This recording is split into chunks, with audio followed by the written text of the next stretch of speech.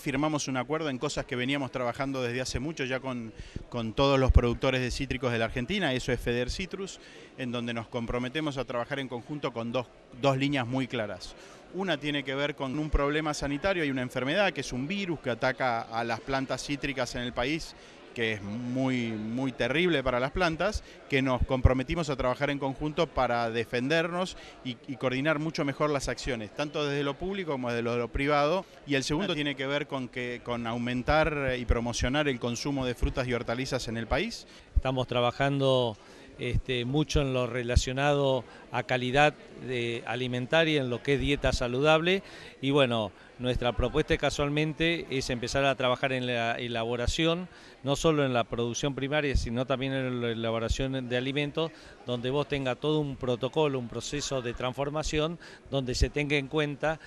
qué aditivo o qué producto vas a utilizar para lograr una dieta lo más natural posible y lo más saludable posible. La verdad que ayer fue el primer día de alimentar, eh, fue una jornada muy linda, muy intensa, mucha gente, eh, muchos empresarios, gente de distintos lugares del mundo se han acercado aquí al stand de agroindustria eh, con preguntas bastante vinculadas con el tema de la exportación principalmente. Mucho interés y muchas ganas, sobre todo muchas pymes hay aquí en,